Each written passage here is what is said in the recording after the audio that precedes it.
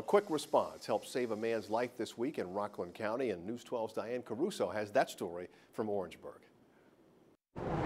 We were on the cart in the corner and Talk about being in the right place and I could tell he wasn't moving. at the right time Ran towards the boys, told them to get the AED. with the right equipment. I spoke with Tappan Zee High School's athletic trainer, Jess Lappe, and these two students, after their quick response, helped save a referee's life during a lacrosse scrimmage there on Tuesday. It's a really special feeling to see someone um, sit up after not being there and smiling, and it's um, it's something I'll take with me for the rest of my life. That man suffered a heart attack and had lost his pulse for at least a minute. The first person to spring into action was FDNY Lieutenant Jimmy Sanchez, who was watching his kids play when he saw the ref go down. Having that AED was everything. The first responder from Blauvelt went into life saving mode alongside Lappe to resuscitate the ref with CPR and an AED. Even if the AED was within school, they had the AED on the field.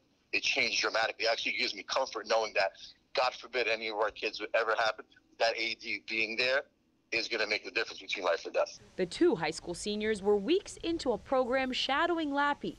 When they've gotten experience they'll never forget. It was a wild experience, and I'm just happy I was in the right place at the right time and was able to make a difference. It makes you really feel good inside just knowing that you were there to help so- save somebody's life. On top of having the right knowledge and tools, Lappe credits one more thing. I can only attribute it to God because, um, like I said, I planned and I planned and we were ready.